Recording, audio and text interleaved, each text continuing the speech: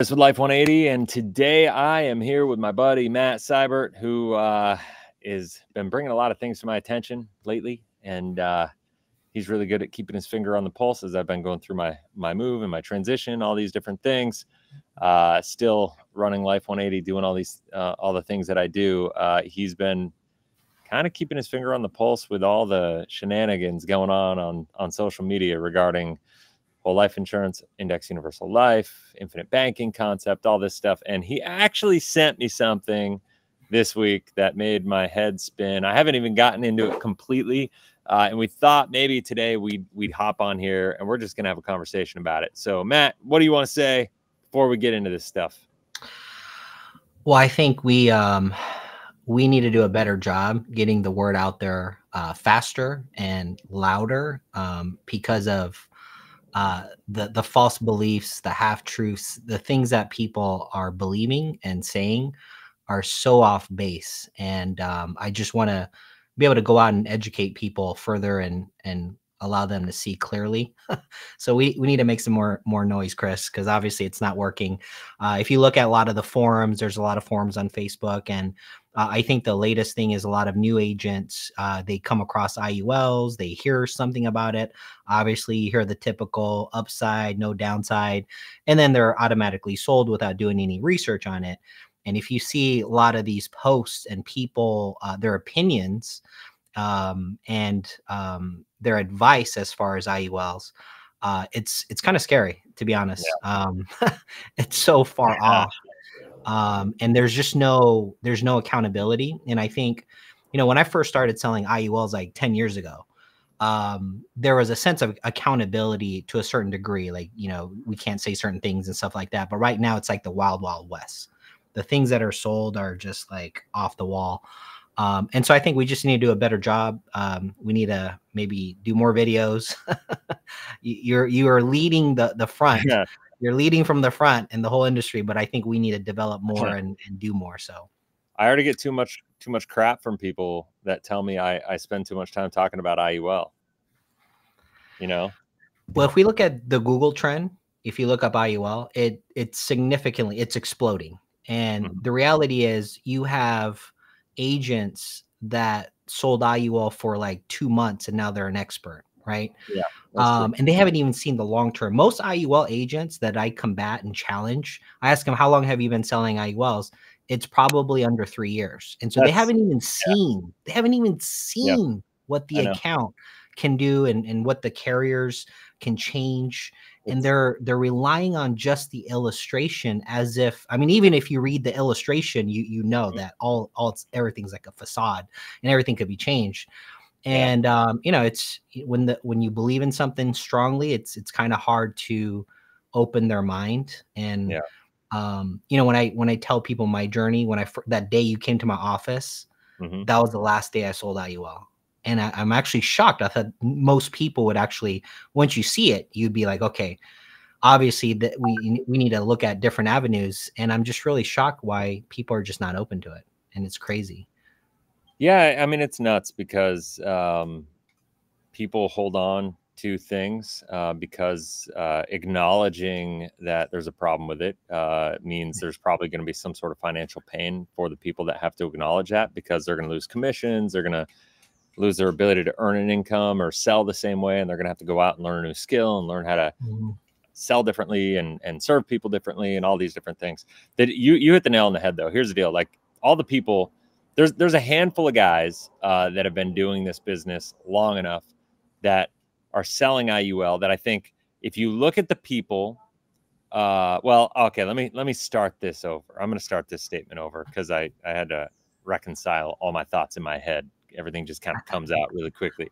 So when I think about the influencers doing this, okay, um, the people really leading the charge on the IUL space um, and educating people you have uh, Doug Andrew, David McKnight, and Curtis Ray. Those are the three biggest IUL names in the business, making the biggest impact, positive or negative, uh, in the IUL space. Out of those people, I encourage everybody to go search out Doug Andrews' lawsuit and Doug Andrew lawsuit and and just do your own research and figure it out. And if you still believe he's the guy for you to follow, uh, and his strategies are locked and loaded, solid, ironclad, whatever you want to call it, uh, you you just do your research and you realize like the trouble the guy's been in, and and if he's so good at what he does, he wouldn't have had that many problems legally. Like that's all I can say. He's not doing anything different now than he was then. He puts out videos. You know, I did the IUL challenge, and he, he's created a, a playlist that's supposedly proved me wrong.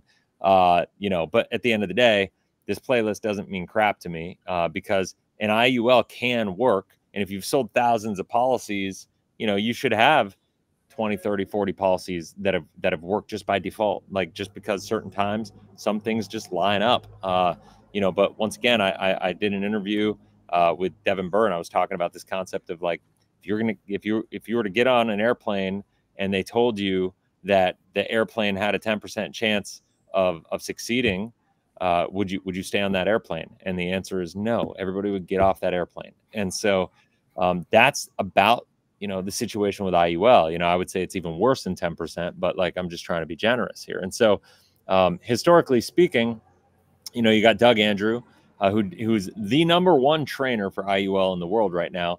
And his uh, track record, if you just Google him, is abysmal. Um, you know, it, that that part's bad. David McKnight um, is is a bit of a different animal. I think David McKnight, out of all of the all the IUL people, is probably the best. Um, that said, I don't agree uh, with him, and I think it's just pathetic that he just won't get it, get online and have a debate with me uh, and have a conversation about this. Um, I do like that David McKnight is not all about leaning solely on IUL uh, and that he leverages other assets. And I understand uh, his premise. I, I, think he misses the ball on a lot of things, but that's that's just neither here nor there, I guess, for this conversation. Um, Curtis Ray. Uh, so so those. Uh, let me say this before I go any further. Doug Andrew and David McKnight are the only two that have been in this business long enough to even have history of success. Um, David McKnight won't show uh, illustrations uh, from a long time ago, which tells me that there's a problem there. Doug Andrew has shown a couple, uh, and show, but like that doesn't mean that anything has been proven wrong. I think a lot of people think I created the IUL challenge uh, because I was coming from this position like it was impossible for IUL to work uh, when IUL can work in a vacuum, and a small percentage of the time it will. I just simply say IUL is not a predictable result, and that's that's that. Now, these there's this new wave of people because of the fact that Doug Andrew has these training contracts with World Financial Group. You and I went to this event, and Doug Andrew was like the lead trainer for like 700 IUL agents that were there, right, with World Financial Group, and uh, and and that's what he does. That's his business model. He goes around and teaches these IMOs all and sells his courses.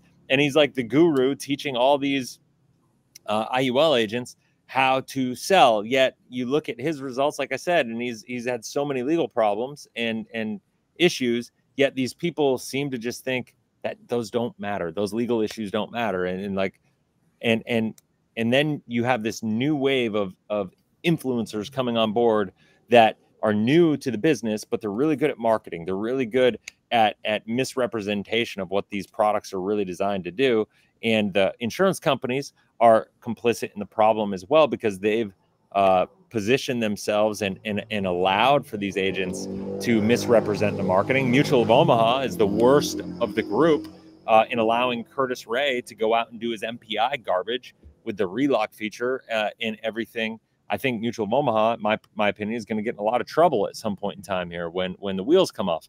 Um, but here's the challenge whether it's Curtis Ray, whether it's these influencers like Brian Jarrell now, and and you know, I don't know if he's watching right now live. Sometimes he's on our live streams. I'll open the chats. Brian, hop in if you want to chat. Um, Brian, uh, you know, is, has been in the business since like 2019. You've got all these guys that have been in the business now that, you know, they've barely taken 10 breaths in the business and all of a sudden they're experts and they have no real historical experience uh, in in the business, and because they've seen ten videos with Doug Andrew using uh, illustrations that aren't even the full illustrations, they're just like little snapshots of illustrations, trying to prove out like that it works without even having the full conversation about what the purpose of these policies should be, what the risk uh, of these policies actually is, and they're trying to position them like they're these ironclad, uh, you know, contracts that are gonna that are going to insulate you from risk in in retirement and they're going to get you this predictable result and nothing could be further from the truth and there's going to be a wave of problems i think in the iul space. Um, and and most of that is because of the fact that you got a bunch of these people that are that are so far in over their heads and and it's easy to sell an iul based on an illustration. It's easy to misrepresent. It's easy to fall into the misrepresentation of IULs, uh, you know, and I'll say this. I'll say this. If if you are an IUL agent and you're selling IUL, obviously, and you've never read the entire contract line for line of the product you're selling, you have no right to be selling that product.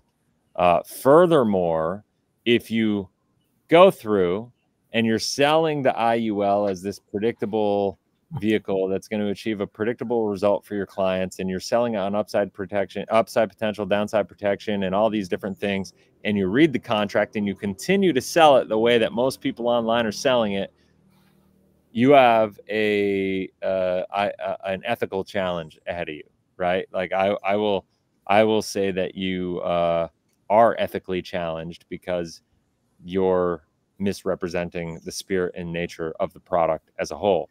Um, you know, uh, when when the story of upside potential in IUL was created, upside potential, downside protection, it wasn't upside potential due to market, uh, uh, due to the uncapped nature of the markets and the indexes and things like that. It was because of the fact that you have upside potential compared to a traditional universal life product. If you strip away the indexed uh, indexing component of an IUL, you simply have a universal life product. If you use like a lot of these people that are like, I love IUL because it's a it's an index strategy, which you know, whole life is a fixed product.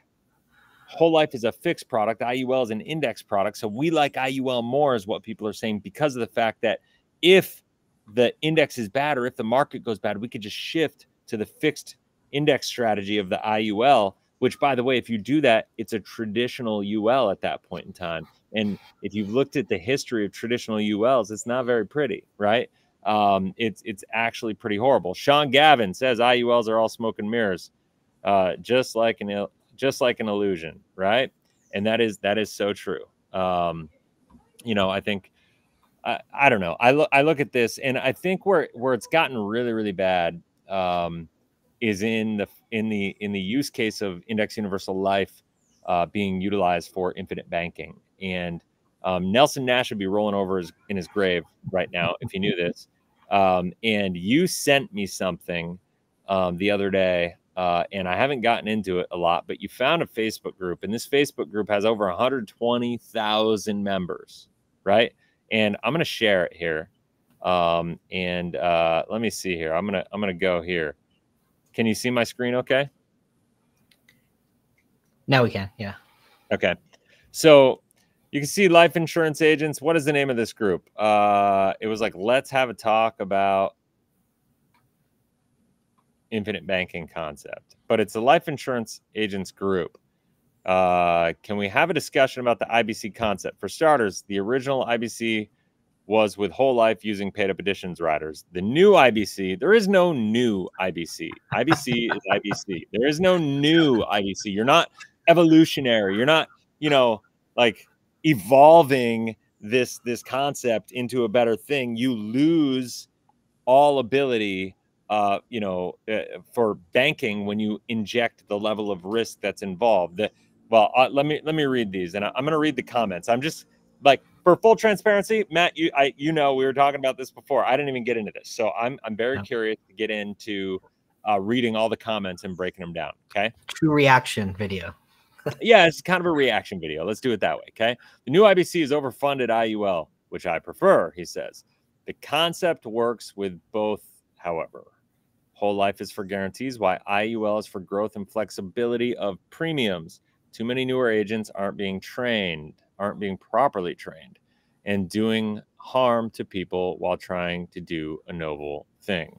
All right, let's uh let's let's let's get into these comments and see what's up. Nope. All right, here we go. Uh, let's see if oh man, there's a lot of comments in here.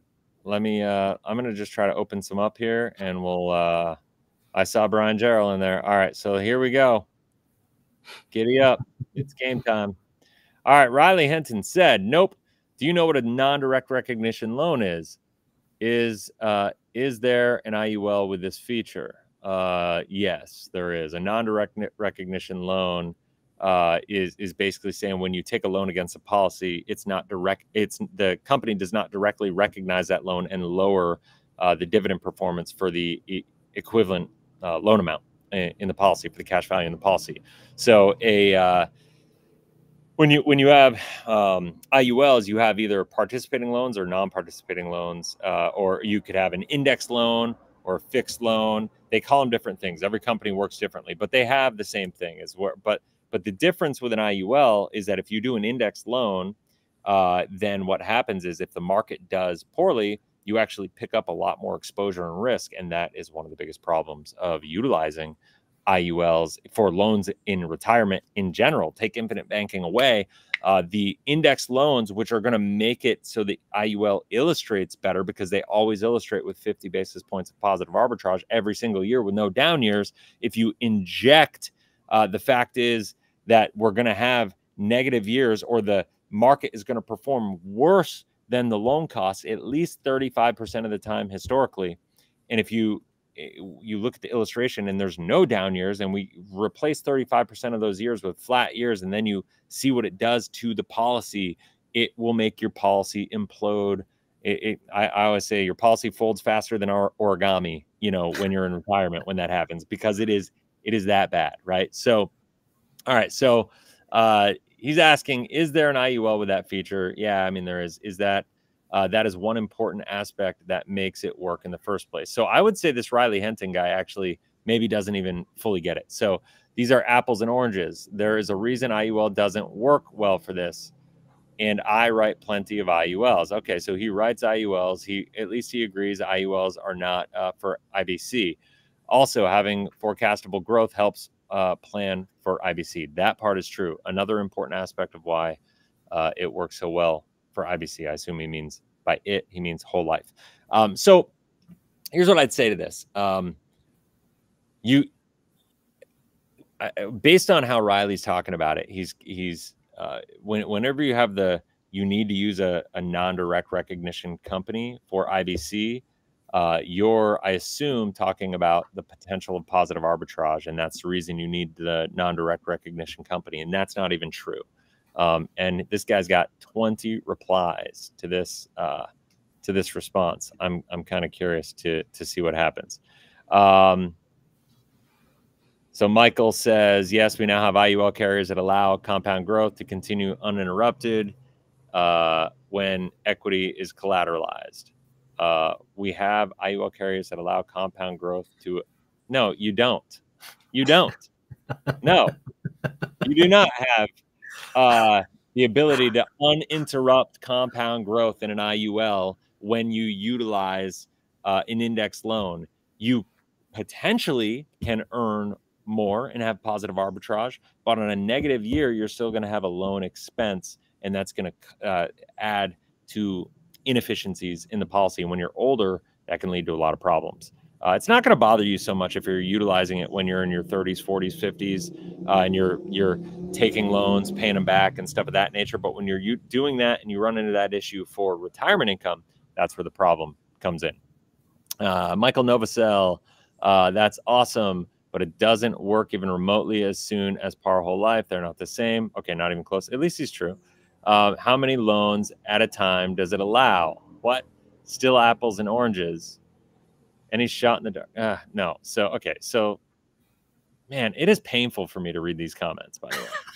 this is just like, is uh, blind okay. leading the blind. Okay, Michael no- Novacell, you can collateralize an IUL immediately. Okay, so it may be riskier though, considering market timing and sequence of returns.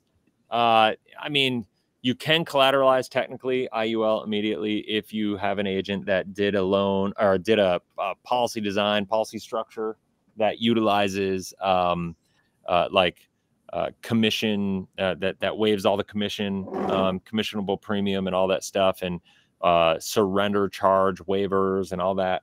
Uh, those those options, and and it can work. Um, but if you do the rider that waives the surrender charges, it comes at a cost uh, that will make the policy perform worse from a long term perspective. And so you just gotta realize uh, from an apples to apples conversation, uh, whole life is just a more pure option as far as this goes. I'm just going to skim through these because I don't know that this. I don't think this back and forth uh, is going to work. All right, Brian Gerald, I got I got to read this guy's comment. Here we go. Oh, Brian says Riley Henton, you're incorrect on this one. Index loans allow the loan to come out as a double ledger system, just like a non-direct recognition loan. Okay, I don't know double ledger, um, but let's see. For example, if you have a hundred thousand in cash, okay, I see what he's saying. If you have a hundred thousand in cash value, you can pull fifty thousand out. It becomes a double ledger system, which means the hundred thousand is still there, compounding at full, uh, while the fifty thousand loan is also compounding. Yeah, okay. So you assume getting seven percent. So assuming you have seven percent this year, that's a big assumption, Brian. Uh, the cash value growth would be 107,000 minus any cost of insurance fees, blah, blah, blah, blah, blah. Uh, loan would be compounded 5%, which means uh, the loan would be 52,500. But here's the deal. He talks about that in a positive sense, but if the if the growth is zero, let's say the index did zero, then what happens is uh, your your cash value grows to nothing. Um, you you don't have any growth at all, and you still pick up this additional expense. That is the problem. IUL can absolutely work as an IBC concept, he says. Uh, I have a policy of four years. Uh, I got news for you. If you're thinking it can be done after four years, that tells me you don't understand the long term concept of infinite banking concept. I've taken loans against it twice. Good for you. If you take loans against it when you're early in the policy, as long as you're managing those loans and paying them back, you're not going to run into any issues. But it doesn't mean from a long term perspective it works. Okay. Uh, first year, my loan rate was 2.91%, while I earned 13.25%. Okay. That is not infinite banking. Infinite banking is not about the damn arbitrage. I wish people would smarten the hell up. That is not what it's about. And if you're talking about the fact that, uh, well, I, will tell you right now, Brian is talking about uh, this concept that he made more than he than he arbitrage. That is not what infinite banking is about. That is that is not like I'm I've done so many videos on this and it's so frustrating that these people are just focusing on the positive arbitrage. It is a potential function, sure, but that is not the purpose. They're taking one little feature of an entire concept and they're selling this feature like it's the entire concept. And that is the problem with all these IUL people not understanding. I swear, like it's mind numbing to me. And I so swear if, these people have never read the book. I swear, if, like it's if like, there was I, a year there was no positive arbitrage, then does that mean it's not infinite banking in an IUL? yeah, I mean, like if there's there's no positive arbitrage, not only do you not have positive arbitrage in this situation, like he's talking about this this one year with this hundred seven thousand dollars. In a year where that's flat well now you have a hundred thousand not a hundred seven thousand. You picked up the uh the extra um you picked up the extra uh, interest expense which is obviously a negative. And because the interest expense went higher your cost of insurance is going to go up you know your net amount at risk is higher and all this these different things. And so once again if you're young like brian is and you're doing it the consequences are not going to be that painful but if you do that when you're in retirement and you're utilizing this for retirement income that's when the problems really start to compound against you. And that's the so anybody that here, like Brian's talking about, oh, this works. Okay, no, it doesn't. You've been in the business for five minutes and you talk like you're an expert. And like, yes, you know a lot more about IULs than most agents, Brian. I will give you that. Um, uh, I can't see any comments if anybody's saying anything, but like, I, I, I, I will give him that. But it's not infinite banking. Go read the infinite banking book before you start talking about it. I like I swear they just skip over that part. Um, I la, la, la, la, la. okay, so he's talking about that. Uh, second year he did, he paid five percent loan rate and then twelve percent that year. Therefore, in two years, uh, positive spread of 17% over the loan rate. Uh, that once again, that's not the purpose. Uh, and anybody that's saying, here's the deal. I'm gonna I'm gonna get off the screen share thing for a second. Anybody who's saying that IUL works for infinite banking, and you know, after four years having two examples where he made a little extra positive spread, which really is laughable, probably considering that 13% equated to maybe a couple thousand dollars of extra savings. But then you look at the long term consequences of if it goes wrong in retirement, that's where the wheels come off. And what are the consequences of that? If the policy lapses, uh, if the po- if you do uh, too too much of a loan and the policy lapses before you're 75 or maybe 65 for uh, one company, um, depending on when you start leveraging it, then you don't have the overloan protection rider. And even if all the people that you know have been like, uh, there's one guy who's been like, oh, Chris, there's this one company that has an overloan protection rider instead of 75, it's 65. Well, first of all, I guarantee that loan comes at a cost being being that early. And secondly, if they're moving it up like that to, to prevent it, all the overloan protection rider does is it doesn't allow you to keep taking more money out of the policy. It simply means you don't get whacked with a massive tax bill. That's it. Like there's not really any positive that comes from this overloan protection rider like except for it avoids a big tax bill for you. But what happens if your your policy lapses and you have the overloan protection rider at 65? Now you got your whole retirement with no retirement income from this IUL that you're probably relying on. If this and is that, what you put all your resources into. And that's what that's the pattern that I notice a lot of IUL agents. It's all about well, if like what if these things happen, then you'll be okay. Mm-hmm. There's just a lot of what ifs, right?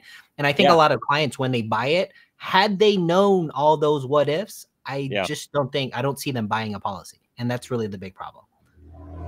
My son just got here. What's up?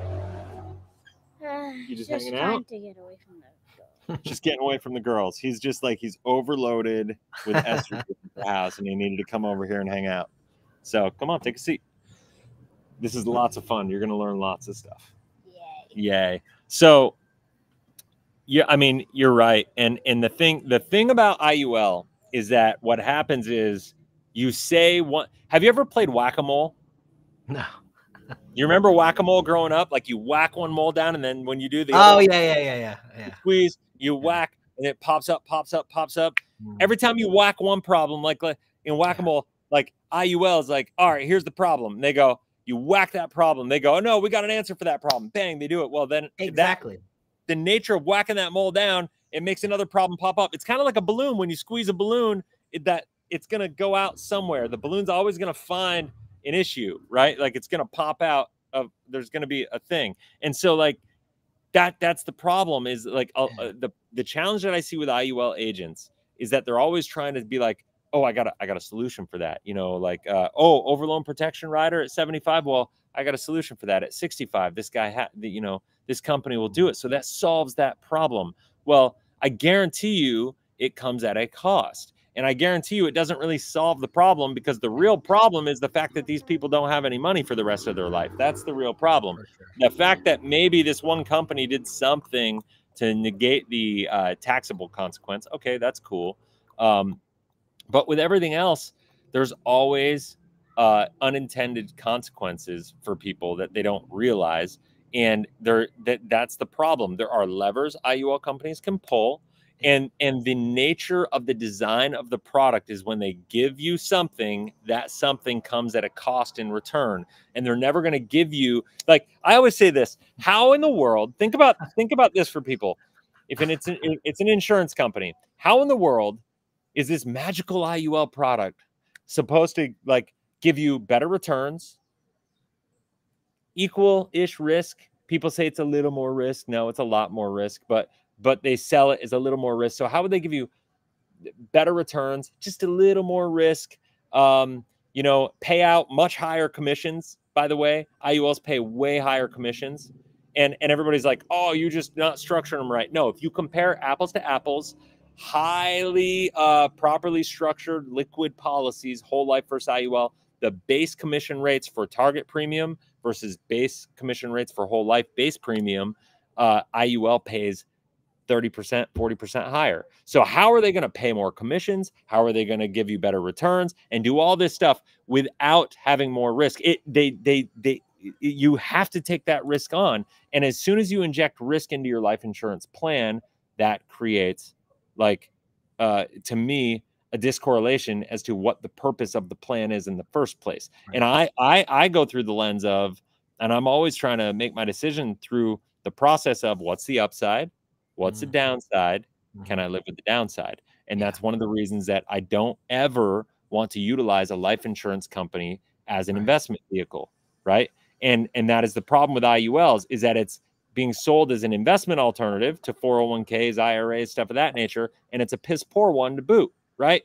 It's life insurance should never be an investment alternative. It should be a savings alternative. And so when you start looking at savings, now you have to look at whole life because saving in an IUL is too risky. And so mm-hmm. now you got to go over the whole life policy, you know, category. And when you start like taking a look at, at, at that, now what do we want to do? We want to save money in a whole life policy or in, in, in a life insurance policy with whole life. And then when you take risk, you take risk outside of the policy and you leverage policy loans. And the reason whole life has to be the vehicle is because the results are predictable. The mm-hmm. and the results in IUL are not predictable. And so when you use like IUL for infinite banking and you try to do that, or you use, and let's say they're doing infinite banking and they're trying to do it for real estate, you're just injecting more risk into the real estate thing. You're the the nature of using IUL is injecting more risk into the equation. Does it give you a little more upside potential? Absolutely. But it comes at a significant cost and risk right? right? And so you get more upside, but at a lot more risk. And that goes away from the infinite mm-hmm. banking concept. And that's why these people have to stop talking about damn positive spread potential because that's not the purpose of the infinite banking concept. you know what I'm saying? No. Yeah. No, he has no idea what I'm talking about. I think what, one of the things you always say if it worked that well, the insurance carriers would do it themselves. Like sure. if it was that profitable and they can make that much money, why wouldn't they do it for themselves? Why wouldn't they have their own account where they can take yeah. all that money? But they don't because they yeah. know it's risk. Well, you know that's that's the thing. So let's let's talk about that for a second. So so uh, these insurance carriers are they're not dumb, right? They're probably the smartest financial institutions on the face of the earth, right? And and so let's just say let's just say um, uh, you have an opportunity, Matt, to in, to to invest in an IUL and you you could choose the S&P 500 index and maybe that index comes with a 10% cap, 0% floor and 100% participation rate. Let's just say that's those are the metrics that we're dealing with, right? And so you so so it's fair to say that because of the fact that you're in the S&P 500 that they're uh, what you're doing, well let me let me let me say it this way. When because of the fact that you're in the S&P 500, you are basically participating in the index, not because you're buying the index, but because you're buying call options on the index. Okay. Right. So that S&P 500 result has a cost to it, right? Because you're buying the call options. So there's, you have your general fund budget, which is your, you know, the, the amount of uh, money in your policy that they're going to allocate to buy the call options. So you have your options budget, and then you have the cost of options. And because it's S&P, those options costs are going to be what they're going to be what's happened now is all of a sudden these people are like oh now there's these new uncapped s&p 500 indexes which allow people to talk about it completely differently and mislead but at the end of the day the input is still the same because you still have the same options budget the same options cost they may be able to illustrate it differently and there may be years where it will perform better for sure. There's no doubt because of the way that works, but there's also going to be a significant cost on the back end, and people are not talking about that. The thing to understand is this is IUL is really simple to explain. It's a traditional UL with an option strategy attached to it, and all you have to do is understand what's the options budget, what are the options costs, and and and that's going to lead to a specific result. And purchasing these these caps or purchasing an uncapped index is going to have a cost and maybe it's the the no risk rate is the cost and maybe it's the 10 year treasury note maybe it's a spread charge that's the cost. And typically with the uncapped indexes they're using these examples because of during covid and during the couple years before we had these you know between 2019 and today we had a couple years with 20% returns 15 18 19 20% returns and and that sure that's going to look really good But I don't know about you, Matt, but my background, I know uh, that is not the norm for the mm-hmm. market. Mm-hmm. And so yeah. every other year that is a norm with a no risk rate of say five, five and a half percent, that's going to destroy the results. Not only that, is we live in this economic environment where uh, there's a lot of uncertainty. Inflation is crazy. They're raising rates. You know all this stuff. That's going to put pressure on the S and P 500.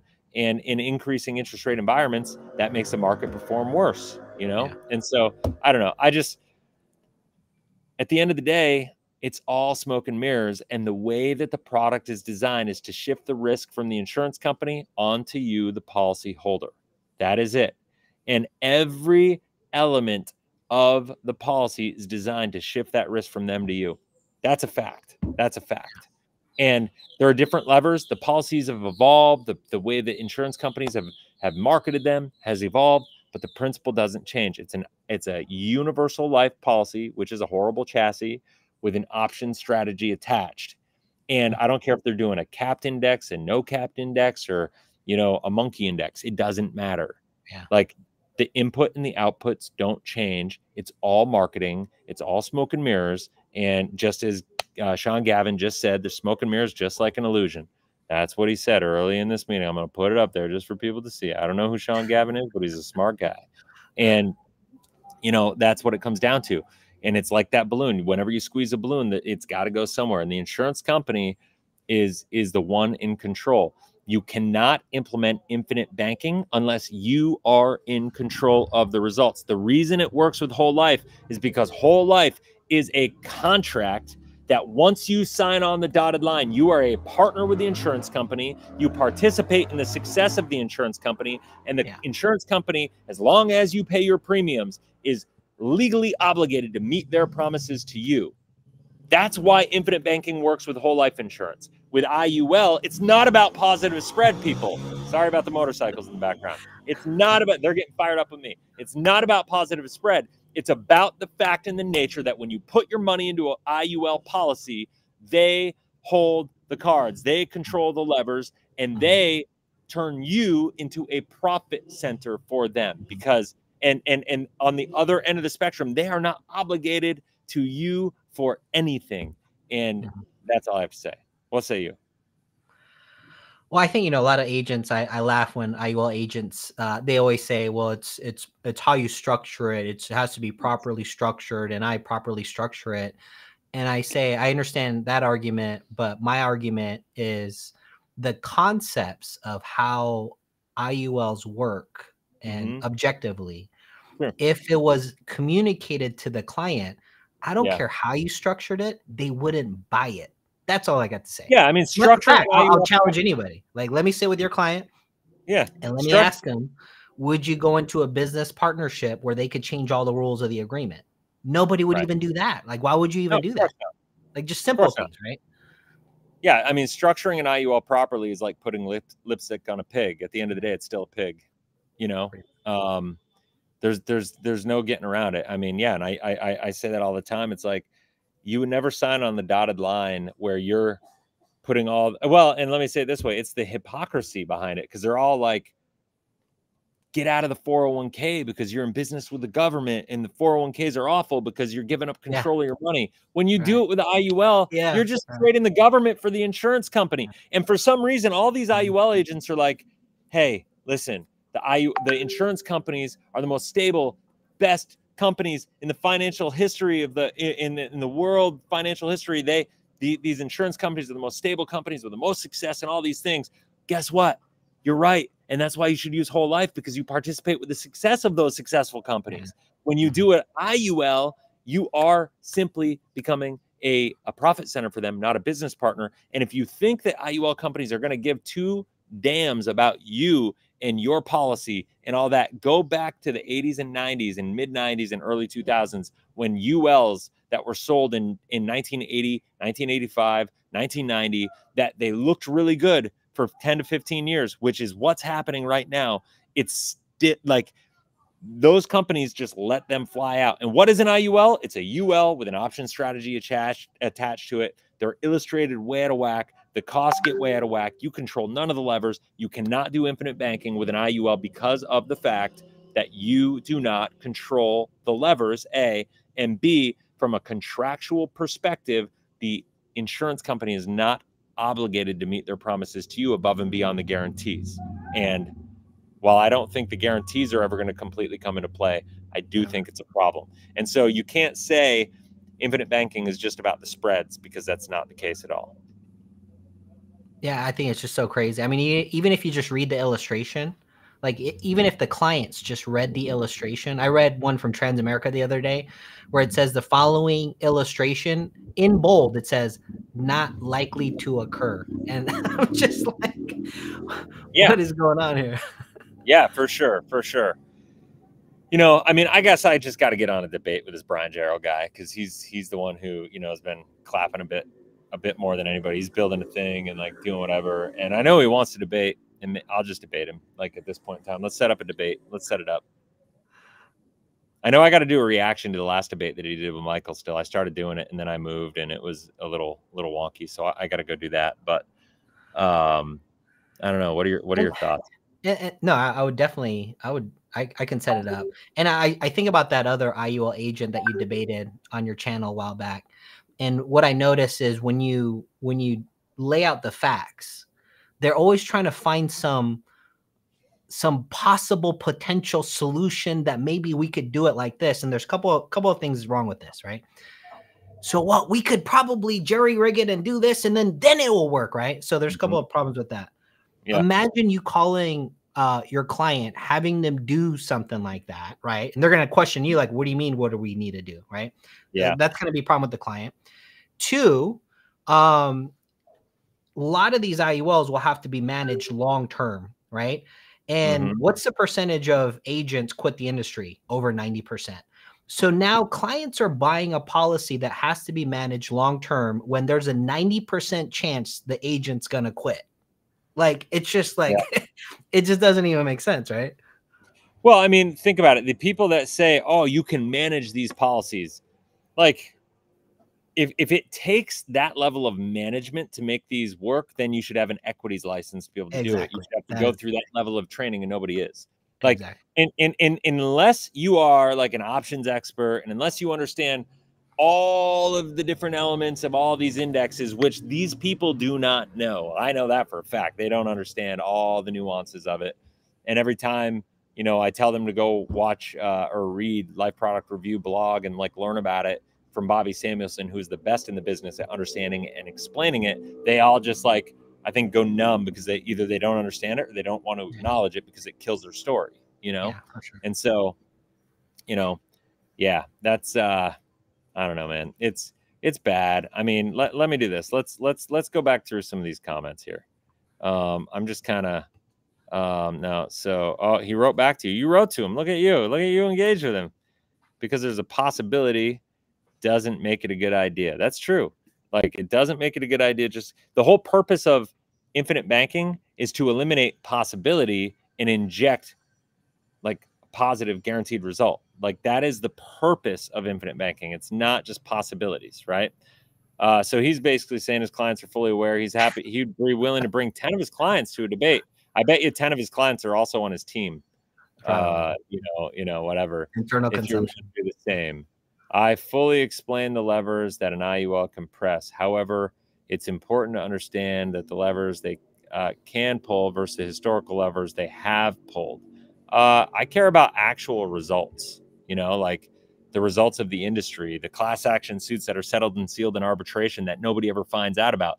The, the last year I, I left the company that I was with, the Fortune 1000 IUL company, that's one of the top IUL companies in the business. They had three lawsuits that were settled and sealed in arbitration that never become pop, uh, never become known about, that never get talked about. And these are the kinds of things that are happening all the time. It's a part of the business model of these companies. And then when you look at, like I said, Brian Jarrell is learning from Doug Andrew. That is his like mentor, you know, is Doug Andrew. And so, like, once again, Doug Andrew has had plenty of legal issues because of his policy designs and the policy's not performing. Yet he shows all of a sudden one playlist with maybe 10 policies that have worked over his thousands of policy examples. And all of a sudden, like he's proven right uh, when there's like over a thousand people that have sued him uh, because of policies not performing. And like, I it, the level of delusion is mind numbing to me. Yeah. Like I just the level of confirmation bias that these IUL Mhm. agents have to have to Mhm. just exist in this space and stay there, it makes my head want to explode. Yeah. Um, in long term IUL, ha, has anybody seen any long term policies set up for maximum cash value, like 20 or 30 years, and how they actually perform? Not illustrated. Ah, oh, that's a good question, Mike and Melanie Breezy.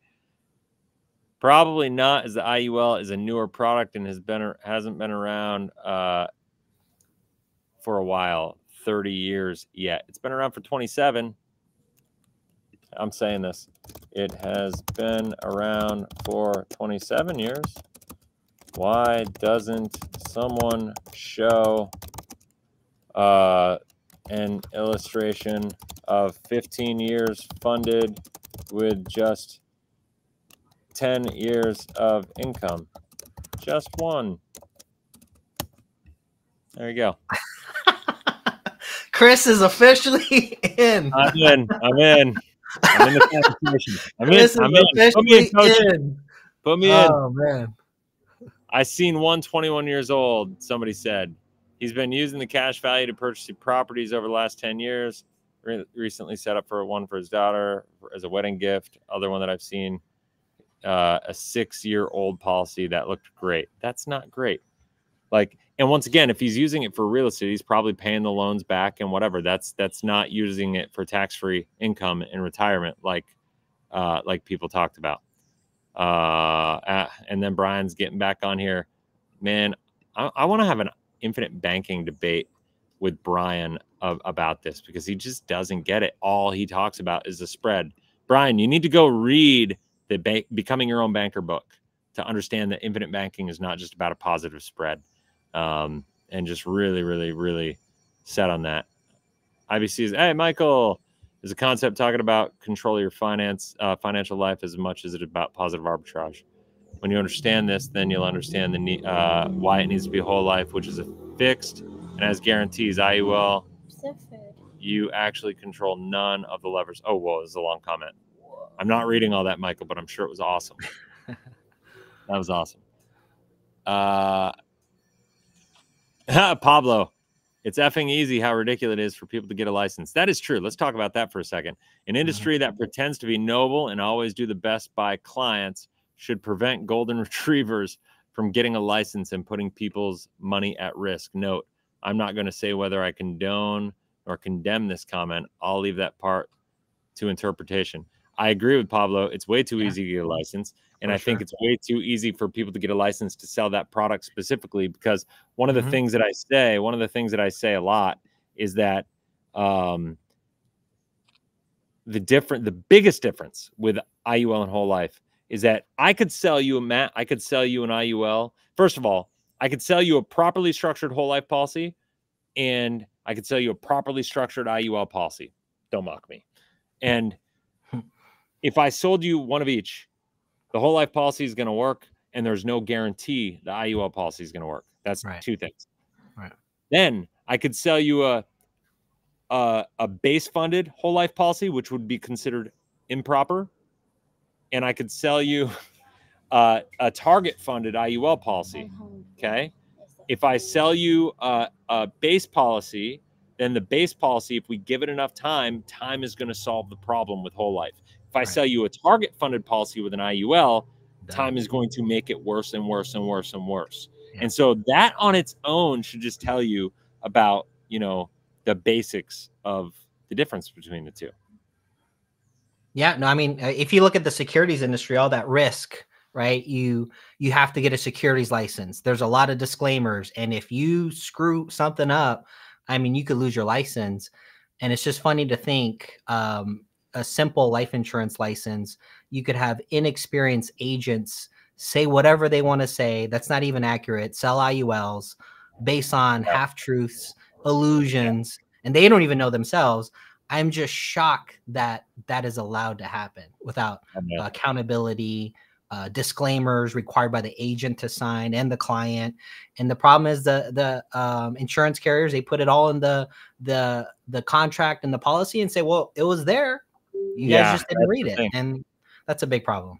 That's the that that is the biggest problem. Is the insurance carriers are the biggest problem of this, and they allow the companies to get away with it. They allow the agents to get away with it. They allow this training and sales tactics to be done, and it's part of their model because there's so much profit in IUL um, that that they can they can afford to just hire these legal teams and do what they do and just allow it to go. And and listen, I'm going to say this. It's not to be. I'm not saying this to say that there are not problems with whole life being missold right. and that there are no lawsuits with whole life or nothing of that nature because there absolutely are. That is not what I'm trying to say. But if you look at them uh, apples to apples as far as the volume of lawsuits, it's not even in the same stratosphere. Right. You know, and so it's just important to know. So, all right. Anything else before we go? Nah, man. Next week, maybe I could bring another another uh, forum. We can yeah, just keep sending me crap, and I'll get fired up, and you know we'll we'll make this happen. I'll I'll do my best to engage with this a little bit. Um, you know, but like this is this reach is out to Brian and, and set it up, set up the meeting. Talk to Brian, set it up for like maybe the second week of February. Let let's okay. let's get it going. I've got I've got a lot going on here right now. We're renovating the hotel and doing a bunch of stuff and let's do uh, it. But it's all coming together. I got some room. I'm my studio is not ready yet, so I'm like literally here in in our lobby area, uh, you know, just doing videos and setting this up and but it's it's working for now. Cool. We'll man. make it work. So, all right, brother. Well, all guys, right. if you hopefully you found value in this, if you did, if you have any questions, if you're an agent and you have questions, you want to talk to Matt about learning more about what it would be like to join our team, you can go down on the link in the description below. If you want to join a company that really focuses on pure education and not recruiting and anything of that nature, reach out to Matt. Uh, go down to agent.life180.com. Uh, and if you are in, if you're somebody who's maybe got an IUL uh, and you're looking for a second opinion, go to rescuemyiul.com you can go to um, you can go to uh, life180.com forward slash clarity dash call. Uh, the link is in the description below as well. Set up a call with one of our one of our team members to uh, figure out what what a strategy utilizing life insurance as a savings vehicle, not an investment, can look like in your life. And that is it. Until next time, have a blessed, inspirational day. We'll talk soon. See ya.